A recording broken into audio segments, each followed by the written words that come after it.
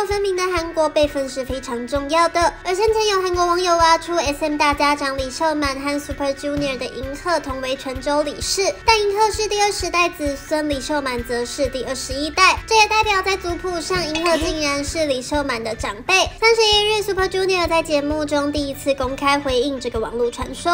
본관 전주희 씨, 효령대군 20세 손, 소속사 사장님보다 한 학년 높다. 내가 이수만 선생님보다 한 학년 높더라고. 진짜로? 어, 아들뻘이야? 哦，妈呀！银河真的是太皮了，而其他成员的表情也有够好笑。不知道立秀们之后会不会出来回应呢？